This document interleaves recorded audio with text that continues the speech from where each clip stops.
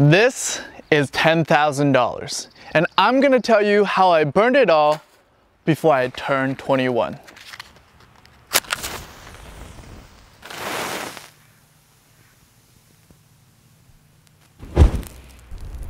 My name is Hafu Go and I'm here to help you learn from my worst money mistakes. The first one is becoming a hype beast. That's like literally burning your money. The number one biggest mistake I've made in my 20s is trying Oh no, trying to become a hype beast. oh my god. Did not expect that to happen. I was looking back on my monthly expenses over the past two years while I was in college and let me tell you, shopping was the single biggest expense I had and out of shopping, clothing took up most of it. And this didn't even track my cash purchases. So, you know, I probably spent close to like 5,000 to $7,000 just on clothes in the past four years.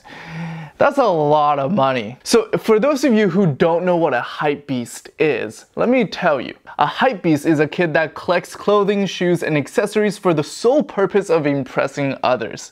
Although the individual may not have a dime to their name, they like to front like they are making far more than everybody else. I was trying to buy the latest drops, you know, get the Supreme, get the Bape, get the Yeezys, just because I wanted to look cool. The funny thing, let me tell you bros, you think girls appreciate hypebeasts? Nah, it's all other dudes who appreciate hypebeasts. So if you're dressing to impress the girls, that's not the way to go. I don't mind if those of you who buy sneakers to flip and you get money from that. I love that hustle. I'm talking about the people who just consume, who just buy, which was me, of course.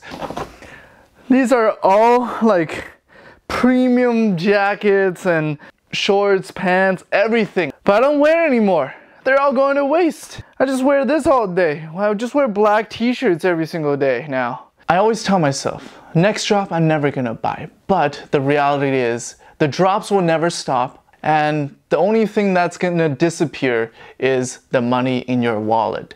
So you should focus your attention and your money on researching how to avoid mistake number two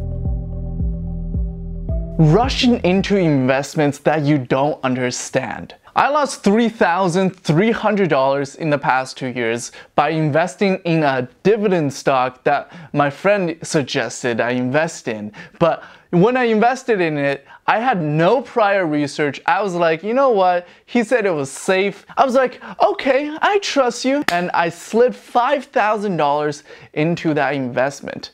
I had some money saved up, right? I was like, if, if this is a safe investment, I'm just gonna put it in and just let it grow throughout the year. Well, the reality is, over the last two years, I lost, let's see, 64.78% of my portfolio value. I didn't sell yet. If I just wait a little bit, I can probably get back maybe like 50%. So basically I lost 3,000 something dollars.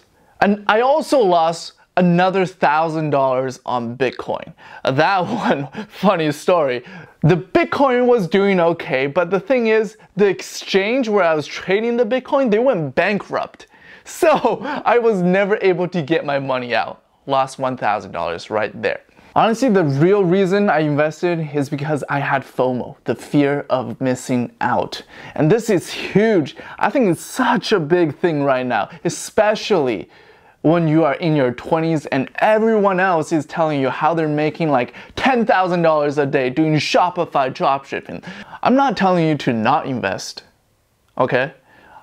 But I'm telling you, when you invest your money into something, you should have full knowledge of exactly what you're getting into and how you're gonna get money and how you might even lose money. So right now, even though I have money saved up, I'm holding back on investing in stocks. Instead, I'm just investing back into my own business because that's what I know. That's how I made my money. And for now, that's what's gonna keep making me money. It really breaks my heart that I wasted over $5,000.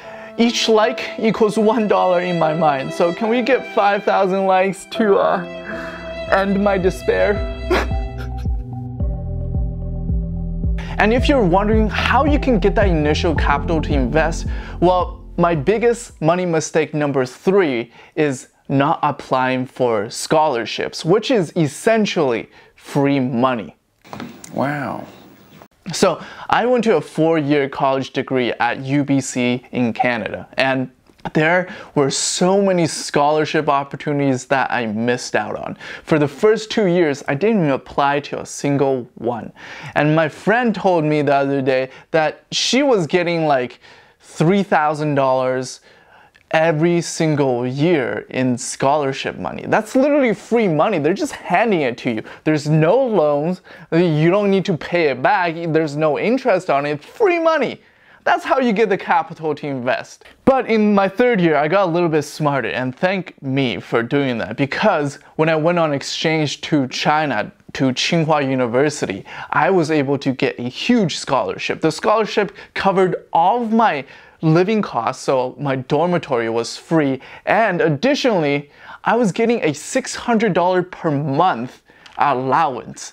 So that added up to around $3,000 for one semester of exchange. $3,000 in China is a huge sum of money. So I think the main reason why we don't apply for scholarships is one, we don't know about it. So go onto your school website or go to your counselor and research about it. And then two is we're afraid that we're not going to get it. Well, let me tell you, scholarship is literally a game of numbers. You just write a couple essays, most of them have the same type of essays, and you just submit like hundreds of scholarship applications. It will be worth it, trust me. Okay. Scholarships might be free money, but you know what's not free money but often is mistaken for that? Your credit card. The biggest money mistake number four is using your credit card as if it's free money. Credit card debt is one of the hardest things to get out of because it's so expensive. Credit card debt averages around 20% interest rate. That's insane. What can you invest in that can reliably generate you 20% every single year? Not a lot. So if you're able to pay down your credit card debt, do it now. Do it now. Let's say you had $5,000 in credit card debt. You don't pay it back for a year, you owe another thousand, and next year you owe $6,000 and your interest is on the $6,000 instead of the initial $5,000. That's insane. So I didn't grow up in Canada or the US. I grew up in China. Credit cards went such a big thing in China. People were just mainly using cash when I was there, and now they use mobile payment, both of which are money that they own and have earned already. So they're very conscious about spending it. And I'm so grateful that when I got my first credit card in Canada, my parents told me, spend your credit card like it's a debit card. Meaning, only spend money that you have. That's such a small advice. I listened to them and I'm so thankful that I listened to them because I have zero credit card debt. And lastly, the worst money mistake, mistake number five, is not keeping track of your finances. There's two parts to this. One, spending more money than you make every single month. And number two is not saving your money. Well, if you're spending it all, you can't really save it, right? So as I was saying earlier, I was spending a lot of money on clothes when I was in college and I was only making like a thousand dollars a month. Any time I really bought clothes, it was eating into my savings because my living expenses were around like 600 to like 700 every single month for food and stuff, not counting rent. And keeping track of your finances doesn't have to be hard because there's like automated programs nowadays. Even your bank should have it. Apple has it, Apple Wallet has it, uh, Mint.com has it, which is what I've used.